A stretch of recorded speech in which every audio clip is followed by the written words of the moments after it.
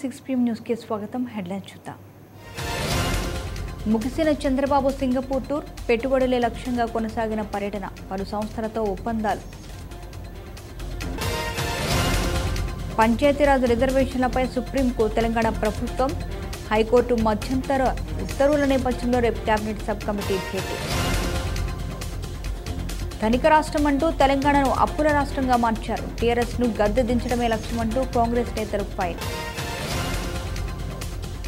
Panchayat రిజర్వేషన్లపై high court తీర్పు కేసీఆర్కు చెంపపెట్టు. ప్రాజెక్టుల్లో పెద్ద ఎత్తున అవినీతి జరుగుతుందని చాడా వ్యాఖ్య జమిలీ ఎన్నికలకు వైసీపీ సై రాజ్యసభ డిప్యూటీ చైర్మన్ ఎన్నికల్లో మద్దతు ఇచ్చేది లేదు. ప్రత్యేక హోదా విషయంలో బీజేపీ మోసం చేసిందన్న విజయసాయిరెడ్డి తెలుగు రాష్ట్రాలకు భారీ వర్ష సూచనలు అప్రమత్తంగా ఉండాలని అధికారులకు ప్రభుత్వం ఆదేశాలు.